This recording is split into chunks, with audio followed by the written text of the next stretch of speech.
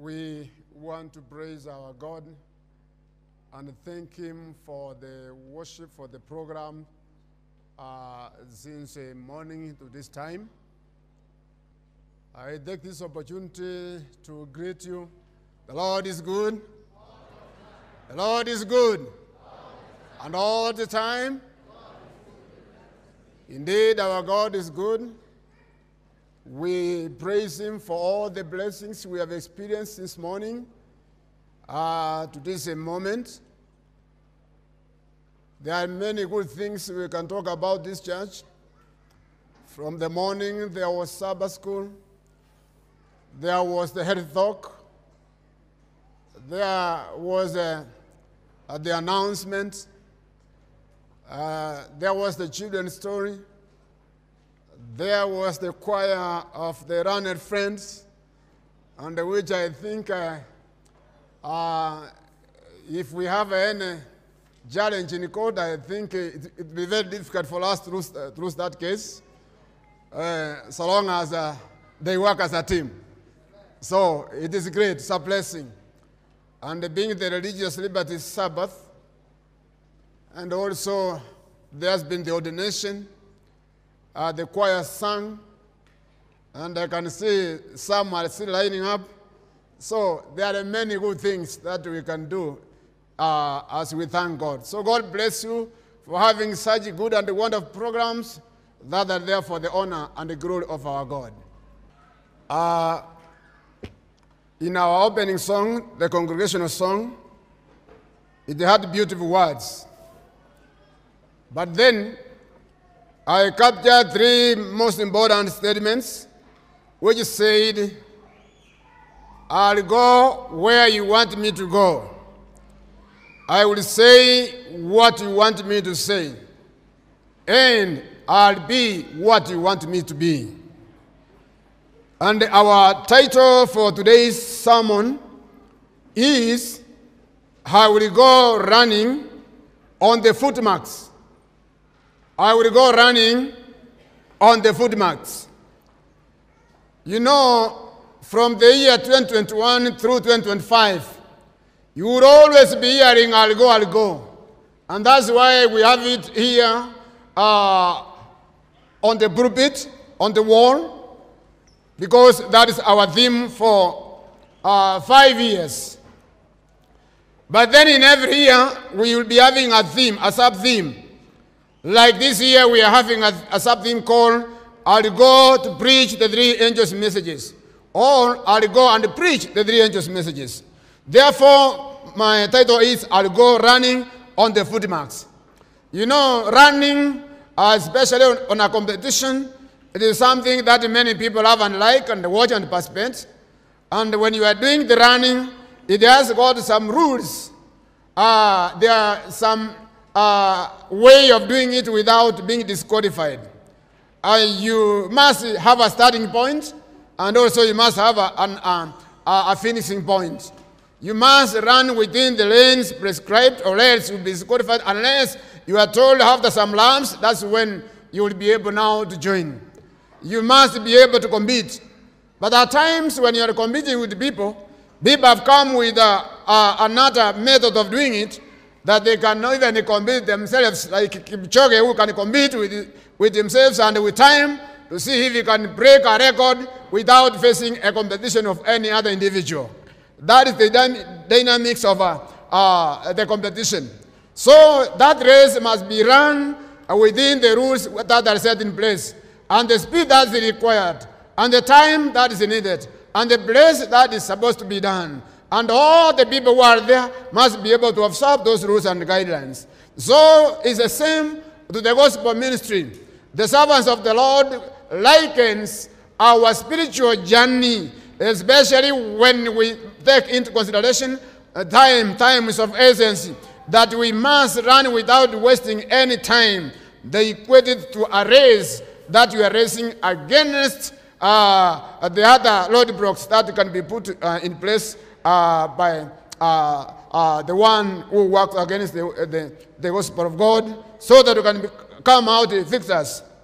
And we must cross the line successfully that we may be able to be counted as people who must have run this race uh, successfully.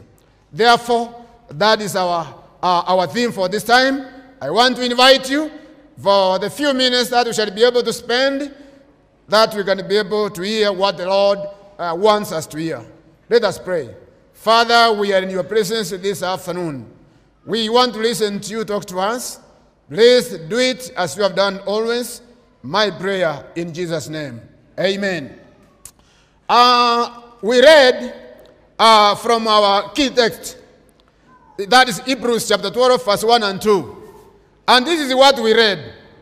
Therefore, we also, since we are surrounded by so great a cloud of witnesses, let us lay aside every weight and the sin which so easily ensnares us, and let us run with endurance the race that is set before us.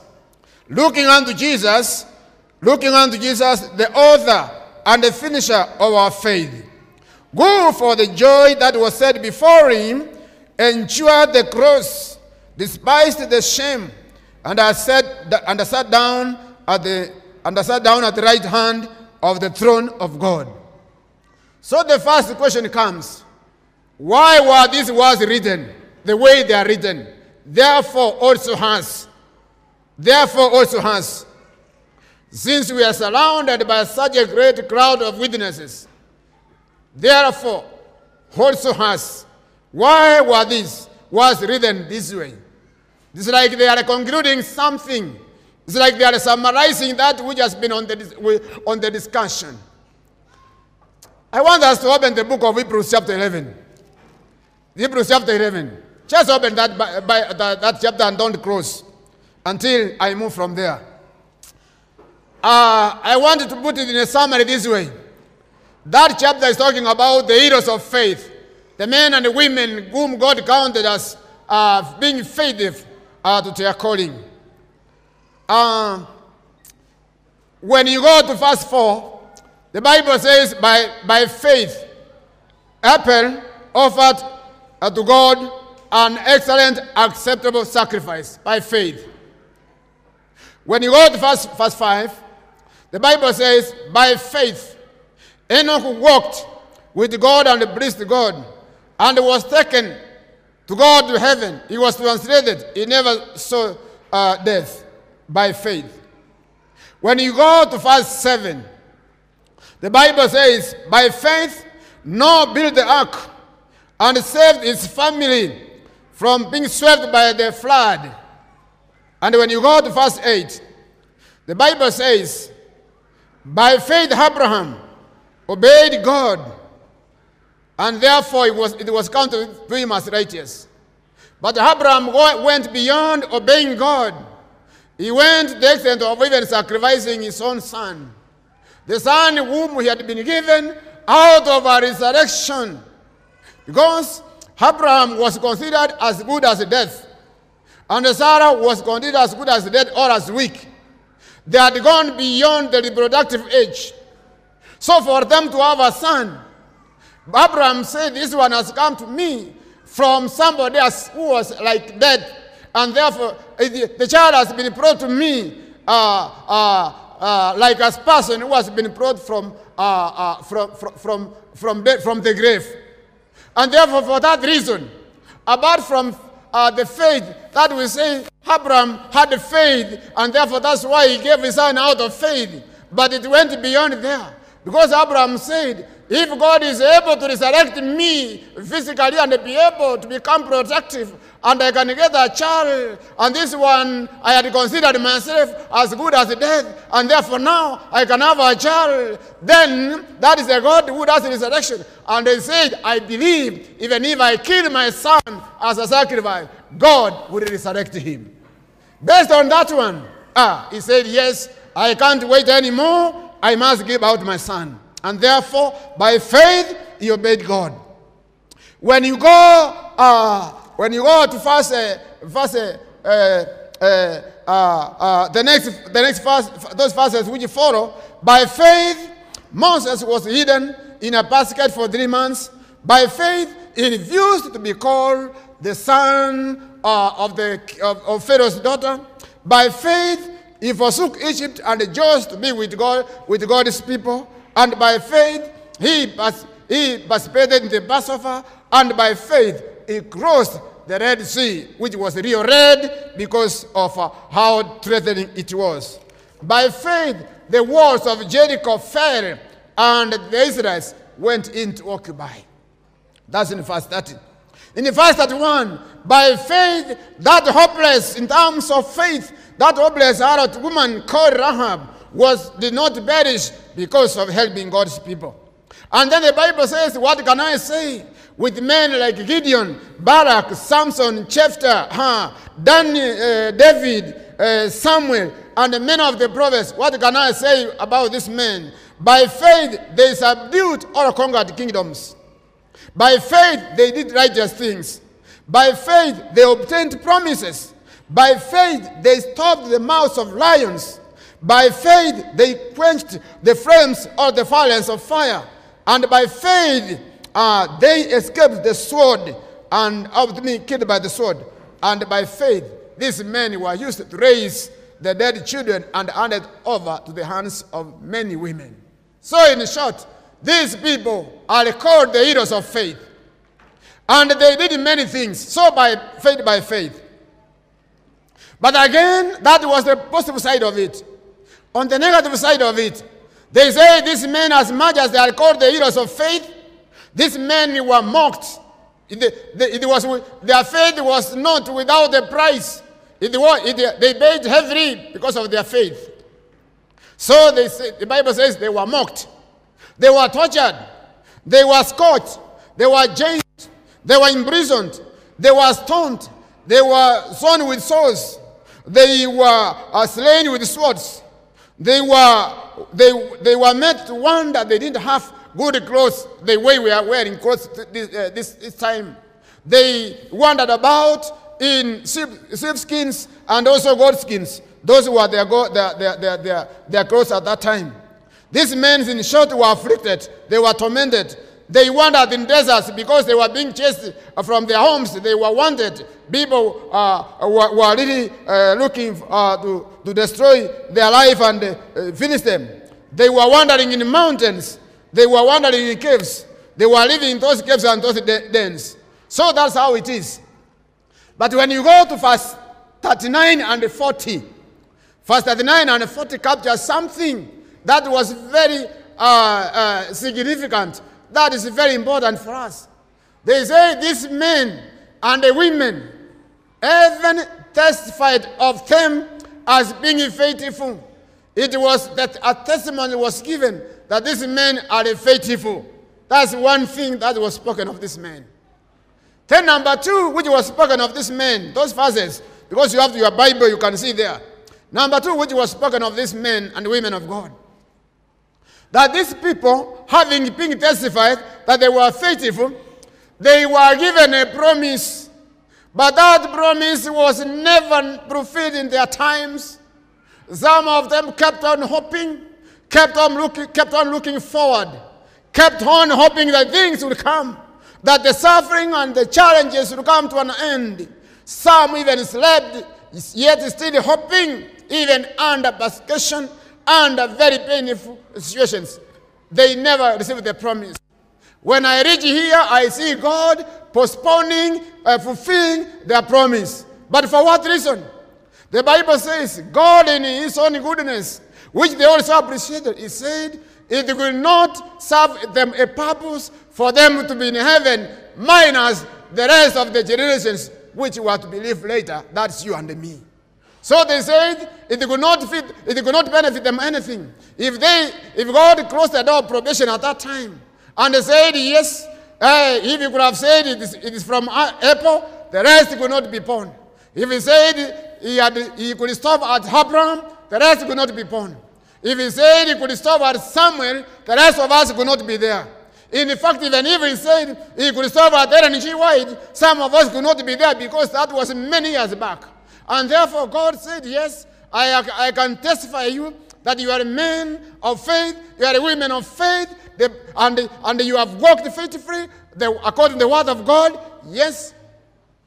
But then he says, Let me postpone fulfilling the promise, the promise of giving you eternal life, the promise of taking you to heaven, the promise of bringing the world to an end, so that many sons and daughters of your brethren who are supposed also to inherit the kingdom of heaven, they can have a chance and an opportunity. They are witness to, they are told this good news, and they believe and trust, and together you can now enter into heaven and enjoy the, uh, the, place, the place of salvation.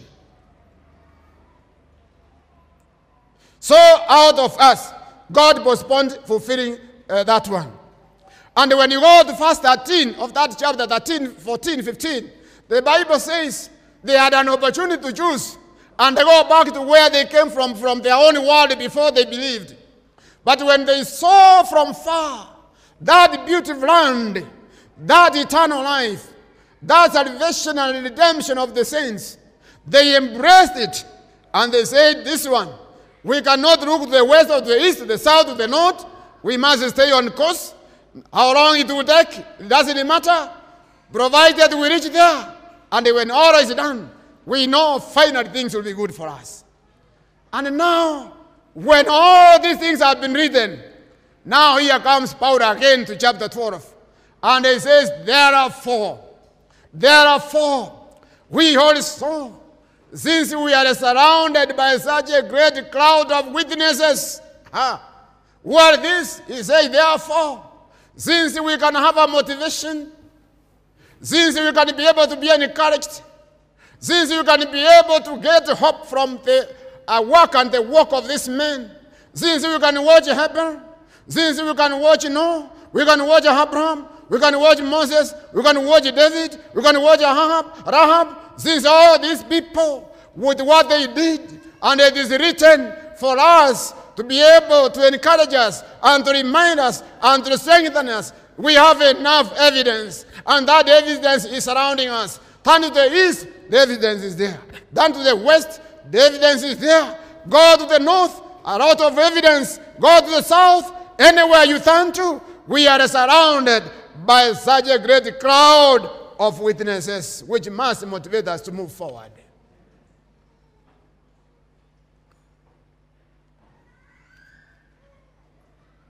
That is what the Bible says.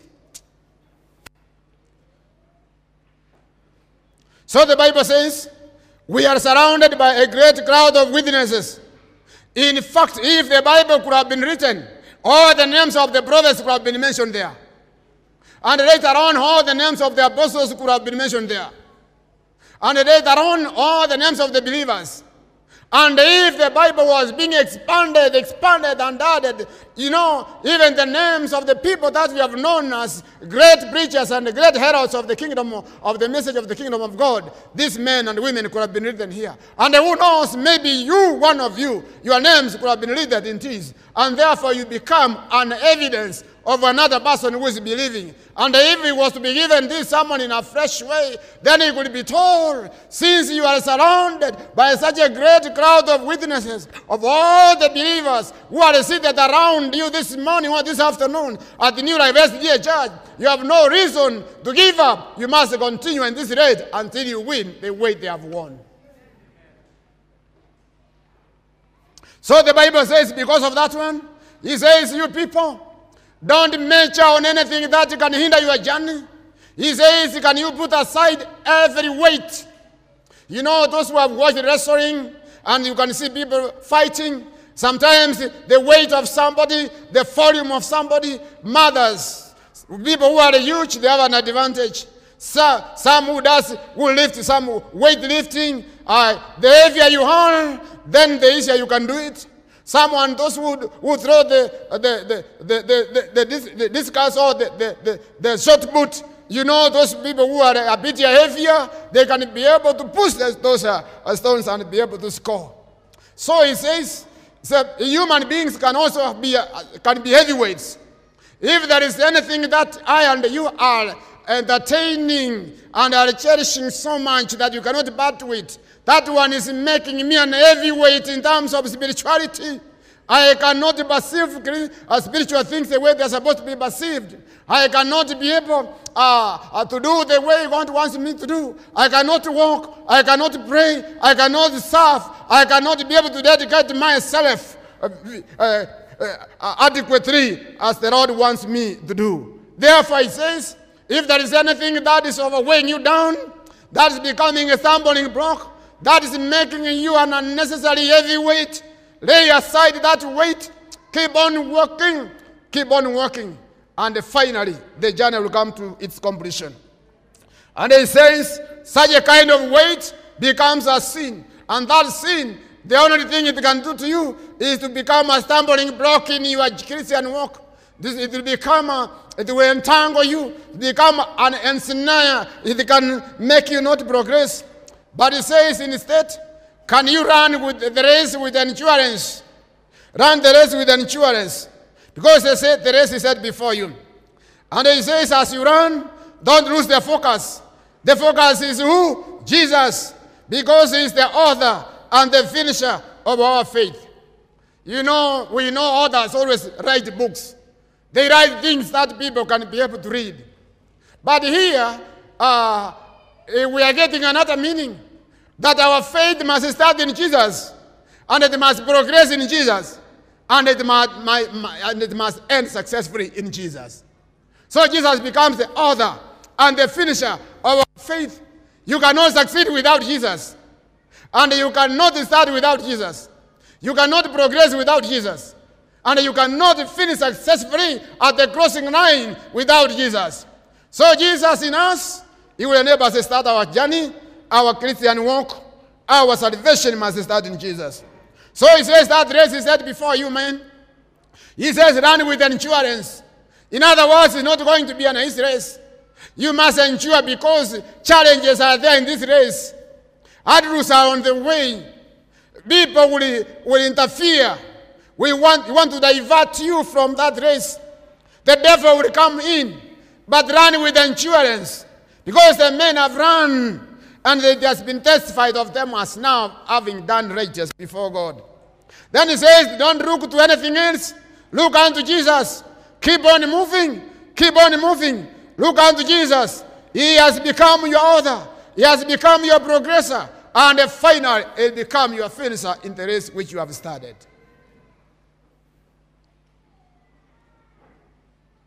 You know what? The Bible says Jesus, Jesus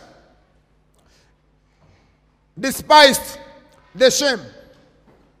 I don't know if you have ever thought about how Jesus despised the shame. You know, for a man of his credibility, who was now considered above the rest of the learned men at that time, be somebody who could be able to reason things beyond the common people who are around, even the most learned. Somebody who can do miracles, who can heal people, who can resurrect people, who can pray and the food can be multiplied. Somebody who can say things, somebody who can walk in the midst of men and they cannot see him. And later on, the same person who is crucified on the cross. And is crucified with the criminals, with thieves, left and right. And that's not enough.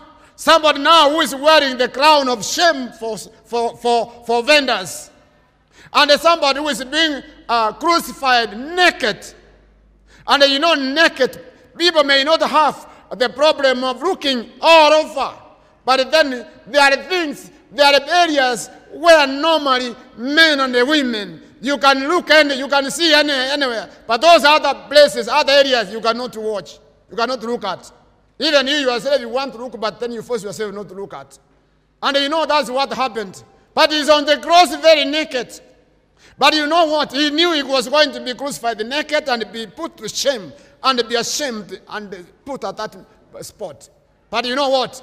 He said, Shout out. Let them do what they want to do. Mine is one. Let me despise that shame. I don't care about it. Let them do what they want to do. As for me, that's where I will go. That is shame. I will face it if that is what will save human beings. And they went ahead and they accepted the shame and they saved the human beings. So he despised. Uh, but why did he despise? Because when he could see at the joy that was going to come afterwards, he said that joy combined with the shame. Shame is nothing. My brother, my sister, at times there are many other things that we compare with our salvation. Sometimes as human beings we give in.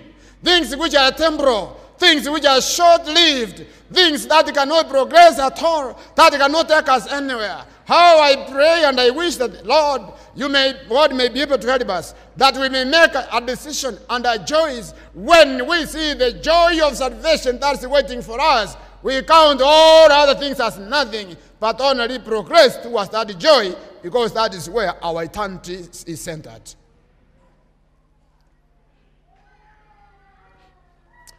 And then it ends this way. When Jesus is running this race, Jesus ran and finished. Yes, he came to this world. He lived this world. He was uh, tempted. He was rejected. All the way to the cross. Then down to the grave. Then he resurrected. Now, the author says good news that like Jesus, yes, he emerged victorious and finally was ushered back to heaven and he sat at the right hand of God, never to leave that place anymore. So he says, likewise, you men of faith, run the same race because you have what, what, what, what, what it takes for you to be motivated. You are surrounded by such a great crowd of witnesses. Ah, you know what? I'll go anywhere. I go where you want me to go. I'll, I'll say what you want me to say. And I'll become what you want me to become. I am impressed by these men who are found in the book of Mark, chapter 8. By these men who are found in the book of Mark, chapter 8. In the book of Mark, chapter 8,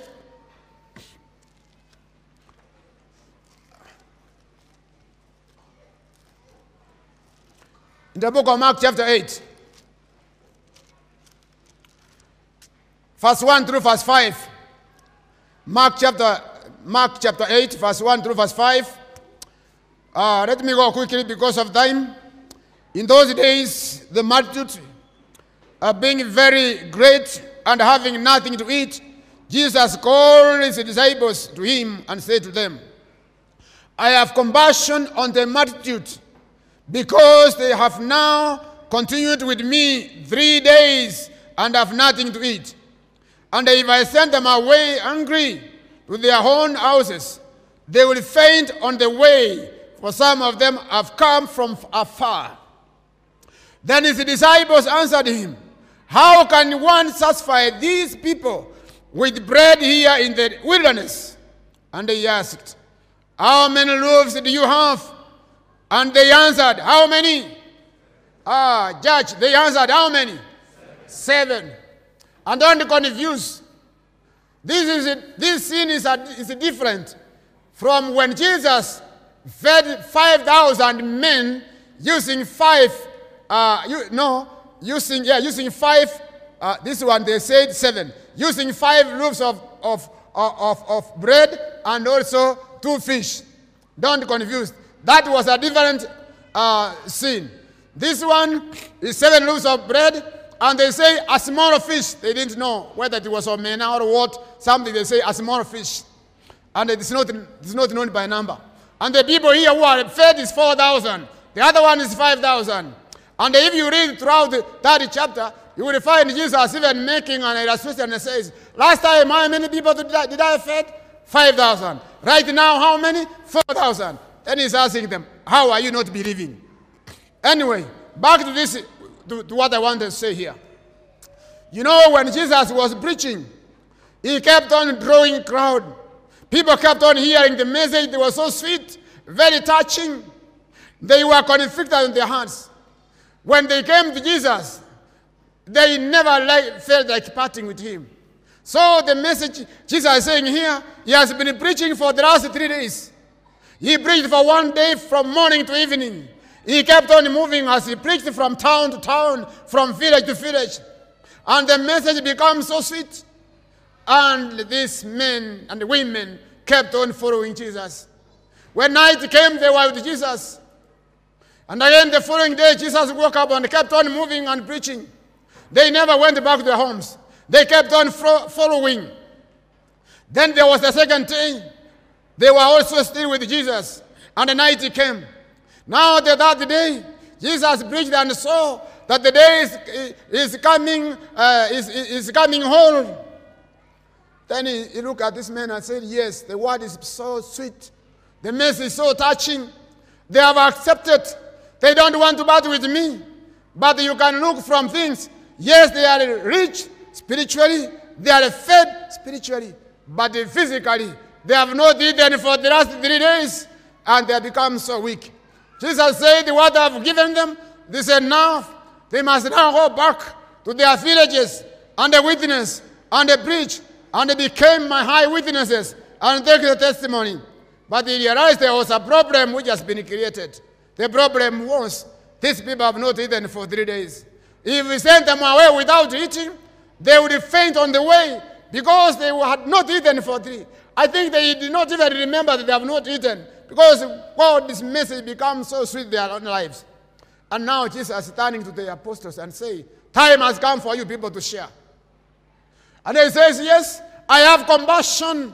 I have sympathy to this crowd. They have loved me. They have loved my message. They have loved salvation. They want to be in the kingdom, but yet they must go back home so that they can preach what they have heard. And the rest, the new converts, I can also have other new converts. But you see, these apostles of Jesus, I equate them with the pastors, I equate them with the elders, I equate with them the presidents and management directors, and the men and the women who are leading the Advent church in various circles. They are complaining to Jesus. They are asking Jesus, You are telling us to give these people food. And you can see the number is big and great. Where can we get enough food to feed these people you have corrected? You know, sometimes people are harsh to Jesus. They are accusing Jesus of making their life difficult.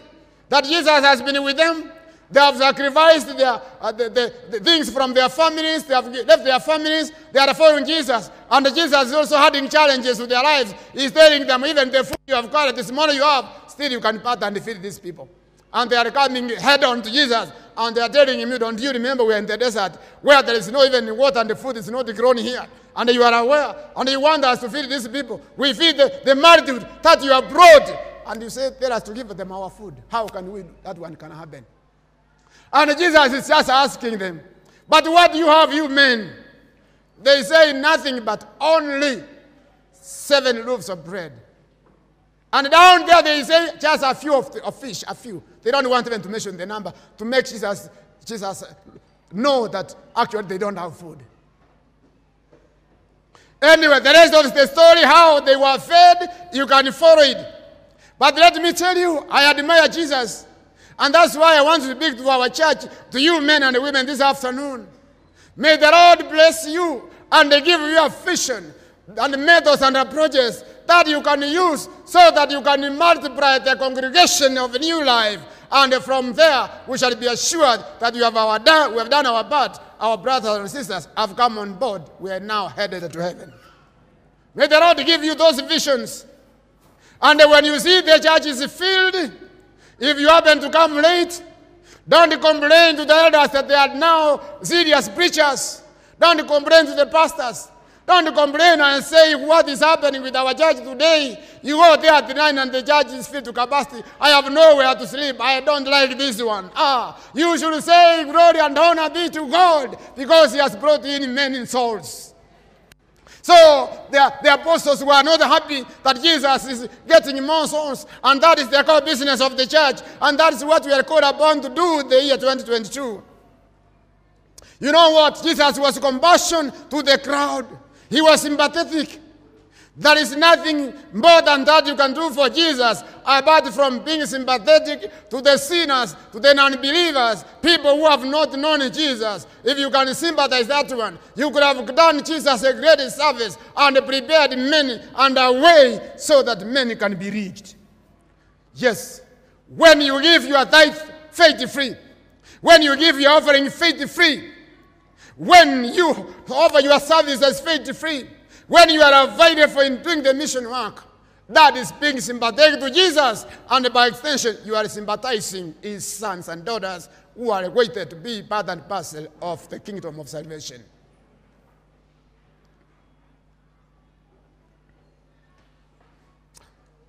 Yes, I am, I am impressed by these new converts. They left their homes, they left their, their families, they left their spouses, they left their parents and their children. They left all that they had. They left their cows, their livestock, their damned animals. They left their food and they left everything. For day one, they never went back. For day two, they never went back. For day three, they never went back, my brother, my sister. And they were still going on. Why not for Jesus who said, You have come very far. I want you to go. Ah. Jesus became a priority in their life.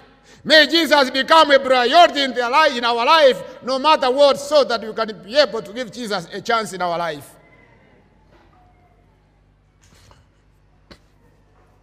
So Jesus said, These men and women have come far with me. So I have this question I'm posing to you. How far have you come with God? How far have you come with Jesus? Are you walking side by side? Are you walking step by step? Is Jesus walking about and walking about, yet you say we are walking together? How far have you come with God? How far have you come with Jesus? But Jesus was careful. He said, The devil is waiting so that he can accuse us. That this Jesus who can correct men and the women and go to preach them. He does not now give them food. And you, they can say, God, outside there and see. Because if they are weak, they can fail on the way, they can faint on the way. And now the devil will come in and say, You can see Jesus who takes people and then he leaves them hungry and now he's killing them. So Jesus says, We cannot send these people away. Let us be sympathetic. Many times I admire how we Adventists, the way we welcome our guests and our visitors, men who have come for the first time. We have those beautiful words which we normally feel, make them feel at home. But when it comes during lunch hour and other uh, places where you want to, eat and enjoy, we go to our safety corners, and sometimes nobody remembers where those people we welcomed, where are they?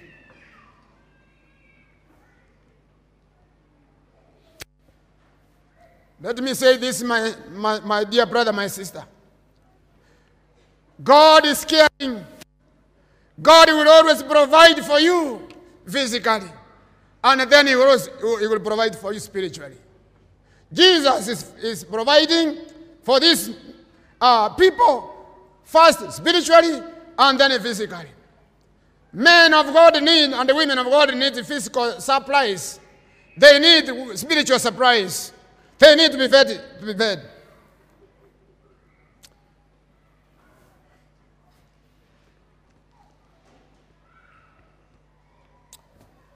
Yes. Time is gone. Uh, because we need to come back to, for the afternoon program. Let me jump other things and say two things and I finish in five times, in five minutes' time. Number one, in Revelation chapter 14, verse 6 through verse 14, it is called the three angels' messages. And the year 2022, our theme is we are called to preach the three angels' messages. If you read chapter uh, 14, verse 6 and 7, the Bible says that then I saw another angel flying in mid heaven with an everlasting gospel to preach all those people who dwell or who stay on the earth. And they cried with a loud voice and said, Fear God and give him glory. Worship him who made the heaven and the earth and all things you can count there. Because, and then he says, we are in the, in the judgment hour. Let me say this. As we preach the three angels' messages, remember the message is for all people who live on, on earth. Remember the message must be taken with speed because time is no more. Remember it is called the everlasting gospel. The three angels' messages is the everlasting gospel. The everlasting gospel means what? Jesus was, was one time in heaven. He left heaven to come and save man. He was incarnated, he was born and he became man on earth. He was born and he grew up. Yes, time came, he started to minister. He was baptized. He was went, he, he, went, he, he, he went for, he was tempted. He was rejected. He was finally crucified. Yes, the same Jesus. He, he accomplished our salvation on the cross. And he went to the grave, but also he resurrected as victorious ones. He went to heaven. He is preparing a mansion for, for us, rooms for us. But the same Jesus who is preparing rooms for us, is uh, overseeing the judgment scene in heaven. Names are being brought uh, out of the book of life, and names are being retained. Cases are being mentioned. I don't know whether your case has been reached or what time it will be, it will be reached. How short, how long it is from this hour, I don't know. But we are in the, the judgment hour. Verdict is being rendered on various names. The entire close of probation will come and it will be very soon. They say now, because of that one, men should be careful how they live. Women should be careful how they live. But one thing that you don't, you don't know, the three angels' messages is coming to the climax. In, in that message, in that message, it says, in that message, it says, yes, he created the heaven and the earth. That means if there is any other time that you, have, you and me should serve our God with what he has allowed us and he has blessed us with, starting with ourselves, it is now absolutely faithful. So he created. But then on the sixth day, he created the family. Inaugurated the marriage. Men should be faithful to their families. Women should be faithful, and humble to their families. Children should respect their parents. Yes, parents should love their children. You young men and young women must do things in the right way and honor their God. That's what is being called here. This is part of the three angels' messages. And finally, it says on the Sabbath he rested. If there is any other time that you should take the message of the Sabbath seriously, it is this time. If there is any other time that you must go back to the drawing board and ask yourself, Am I keeping the Sabbath the way the Lord wanted? Can I remind you, in the book Great Hope or Desire of Ages, it says the entire world will come together and agree many things. But only two things, only two things that could be the separating wall between those who worship God in truth and those ones who just want to worship God casually. And those are spiritualism.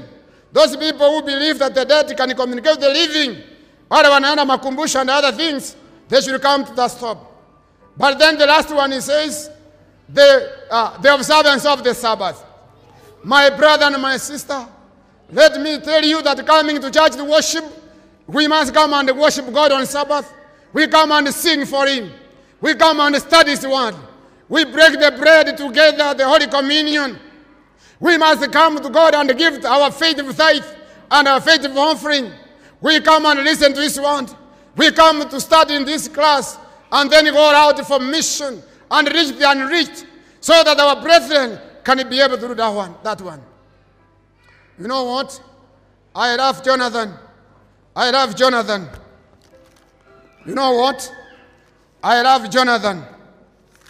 I love Jonathan. I love Jonathan. I love Jonathan.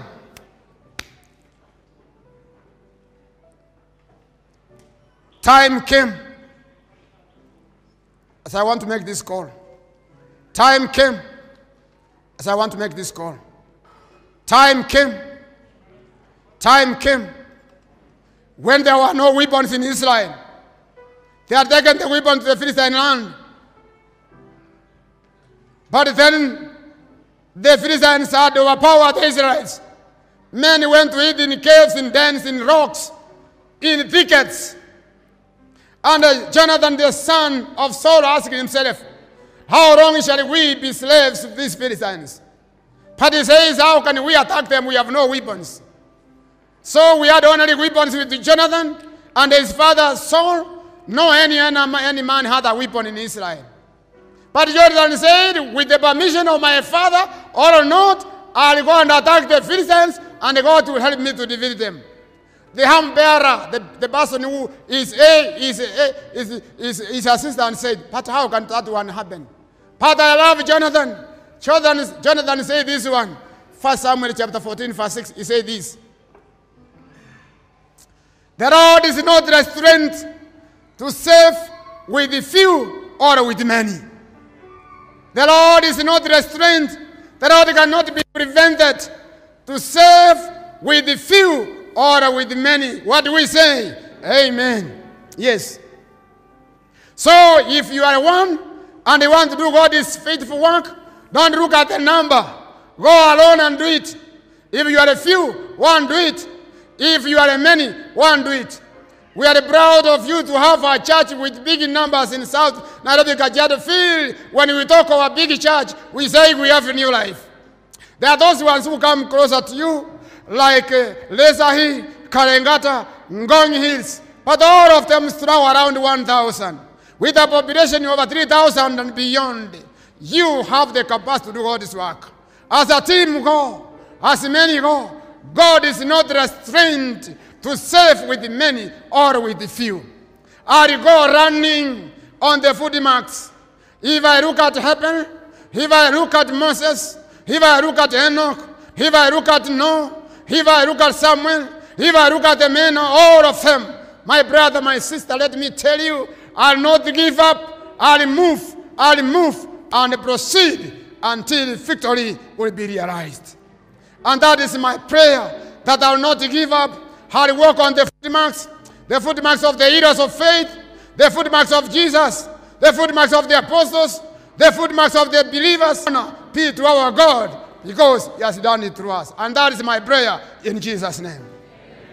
How many join me and say, Yes, God, let us walk on the footmarks, and when time is no more, we shall say we have walked like our brothers, and now we shall be partakers of eternal kingdom.